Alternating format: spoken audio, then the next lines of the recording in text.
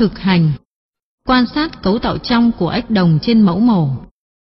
Một La Mã yêu cầu Thứ nhất, nhận dạng các cơ quan của ếch trên mẫu mổ. Thứ hai, tìm những cơ quan, hệ cơ quan thích nghi với đời sống mới chuyển lên cạn. Hai La Mã chuẩn bị.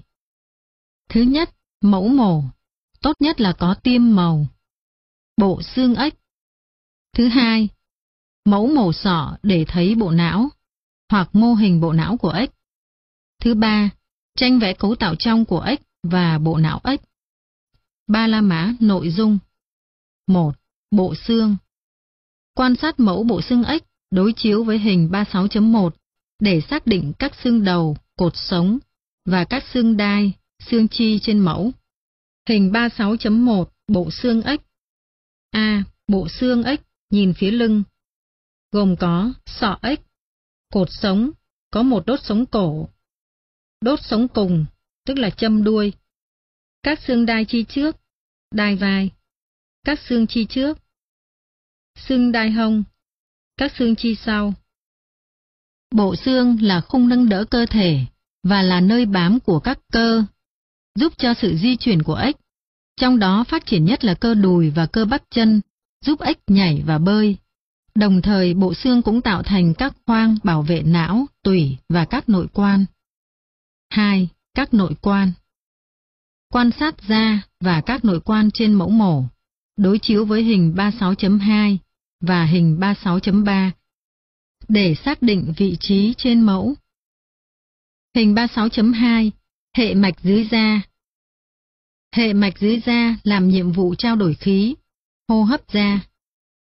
Hình 36.3 Cấu tạo trong của ếch gồm có tim, phổi, gan, mật, dạ dày, ruột, ruột thẳng, thận, ống dẫn nước tiểu, bóng đái, huyệt, buồng trứng, ống dẫn trứng, tử cung, các gốc động mạch, động mạch chủ, tĩnh mạch chủ dưới, tỳ. Nghiên cứu đặc điểm cấu tạo trong của ếch ghi trong bảng dưới đây. Tìm những cơ quan nào thể hiện rõ sự thích nghi với đời sống mới chuyển lên cạn. Bảng Đặc điểm cấu tạo trong của ếch các em kẻ bảng gồm có hai cột, bảy hàng. Hàng thứ nhất cột 1, hệ cơ quan. Cột 2, đặc điểm. Hàng thứ hai cột 1, tiêu hóa. Cột 2, gạch đầu hàng thứ nhất. Miệng có lưỡi, có thể phóng ra bắt mồi. Gạch đầu hàng thứ hai, có dạ dày lớn, ruột ngắn, gan, mật, lớn, có tuyến tụy. Hàng thứ ba, Cột thứ nhất, hô hấp. Cột thứ hai, gạch đầu hàng thứ nhất, xuất hiện phổi, hô hấp nhờ sự nâng hạ của thềm miệng.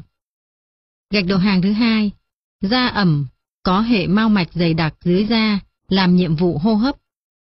Hàng thứ tư, cột một, tuần hoàn.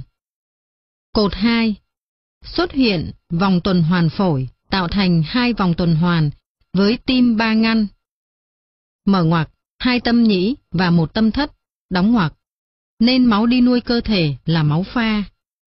Hàng thứ năm cột 1, bài tiết. Cột 2.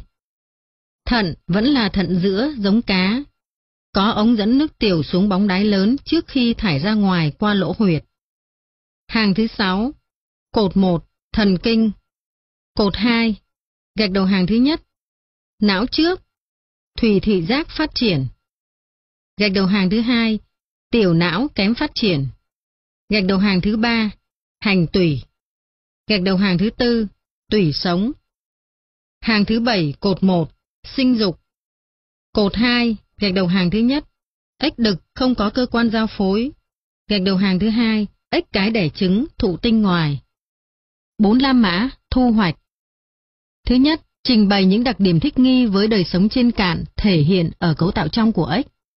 Thứ hai, vẽ và ghi chú các phần cấu tạo của bộ não ếch. Thứ ba, hãy cho biết ếch có bị chết ngạt không nếu ta cho ếch vào một lọ đầy nước, đầu chúc xuống dưới.